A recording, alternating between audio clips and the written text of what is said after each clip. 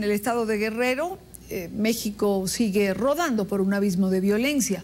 Esta vez la víctima fue un destacado activista y policía comunitario Miguel Ángel Jiménez Blanco, reconocido por su labor en el caso de los 43 estudiantes desaparecidos de Ayotzinapa.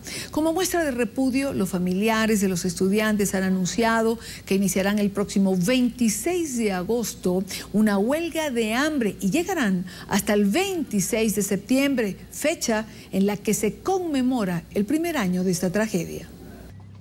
Este fin de semana fue hallado sin vida quien fuera uno de los principales activistas encausado en la búsqueda de los 43 estudiantes normalistas desaparecidos desde el pasado 26 de septiembre en Iguala, el estado de Guerrero. O sea, estamos, aquí estamos jugando. A que todos, todos nosotros somos una bola de, de ignorantes y mal del cerebro. Por la noche del sábado, el cuerpo de Miguel Ángel Jiménez fue localizado al interior de un taxi estacionado a un costado de la autopista del Sol que conecta el puerto de Acapulco con la Ciudad de México.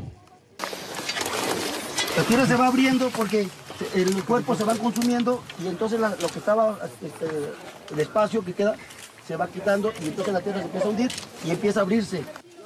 En su labor de tratar de localizar a los 43 estudiantes de Ayotzinapa, se encontró con diversas fosas clandestinas que provocó el acercamiento de decenas de familias que también buscaban a un ser querido.